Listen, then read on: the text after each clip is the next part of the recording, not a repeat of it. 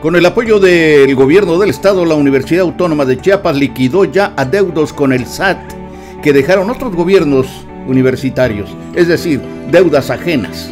Son adeudos de ejercicios anteriores por concepto de impuesto sobre la renta. El gobernador Rutilio Escandón Cadena se reunió con Michelle Alejandra Arellano Guillén, la niña chiapaneca que a sus nueve años con un coeficiente intelectual de 158 lo que le ha abierto la posibilidad de ingresar a una institución de educación superior en el extranjero.